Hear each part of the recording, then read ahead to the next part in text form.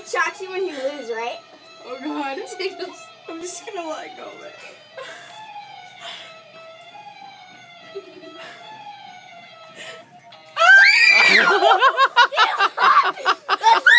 Let's play again.